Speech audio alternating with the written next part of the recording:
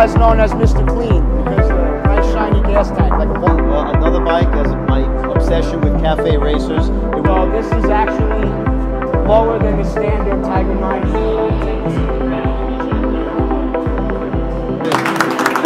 Well done.